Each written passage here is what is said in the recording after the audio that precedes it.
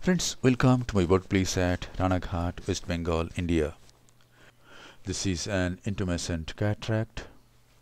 The antechamber in this case is very shallow and the convexity of the anterior surface of this cataractous lens is very high. So I am thinking that there is a high possibility of Argentine flag sign in this case. Let us observe this surgery.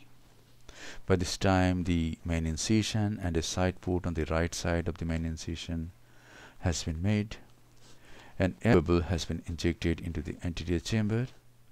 And now trypan blue 0.06% dye is injected into the anterior chamber. Beneath this air bubble and the dye is applied directly over the anterior capsule the dye is swept from one side to the other side so that there is uniform staining of the anterior capsule. And now the dye is washed out from the ocular surface and from the anterior chamber. Sometimes some dye will get hidden under the iris if you don't wash it out. And that may be a possibility of toxic anterior segment syndrome. So better to wash the dye out. And the antechamber has been filled up with SPMC not sodium hyaluronate. One more side port has been made on the left side of the main incision. And now the main step at this time, hold the eyeball firmly with the tooth forceps at the limbus. Introduce the needle, make a puncture and immediately curve. Do a curved movement. Make a C flap. Hold this capsular tag, go anti-clockwise and do a small rhexis. See, at this time it was tending to go to periphery. But since I aimed at a small rhexis I could bring it back and I have been able to do a small and now the intralenticular pressure is to be reduced. I am using a Simcoe cannula to aspirate some cortical matter there are many surgeons in Europe and America where Simcoe cannula will not be there on the trolley. So you can do this. You can just use the irrigating probe of bimanual IA and just irrigate. You don't have to aspirate. And just irrigate. And this movement will remove a lot of cortex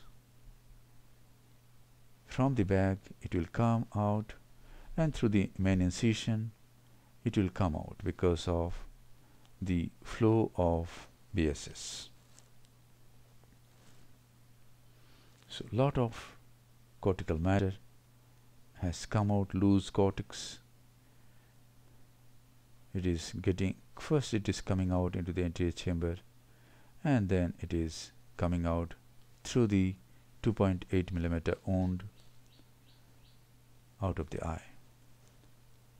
So this is a good way of reducing the intralenticular pressure if you don't have this instrument, a Simcoe cannula. But please keep a Simcoe cannula in your trolley. It is a very safe instrument and it helps in many steps a lot. And now 2% SPMC is injected again.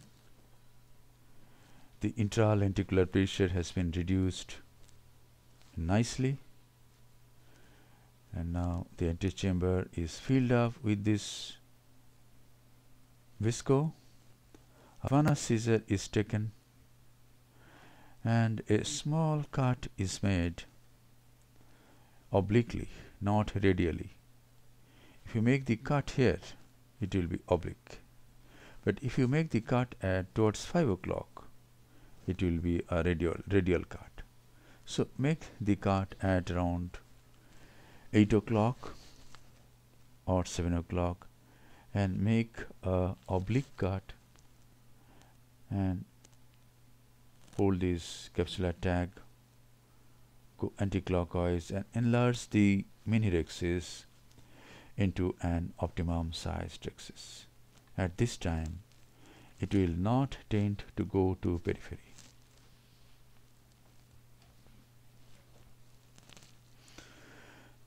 And now is the time to manage the nucleus. The machine being used is Faros from Oertli. And now this is 450 vacuum and 45 ml per minute flow rate and I'm going to do direct chop. The handpiece is turned, bevel is off, the tip is buried into the substance of the nucleus, goes up to the center of the nucleus, holds nucleus firmly and the chopper is used to chop it. And we find that the nucleus is soft and see what happens. I could not hold it and I could not chop this.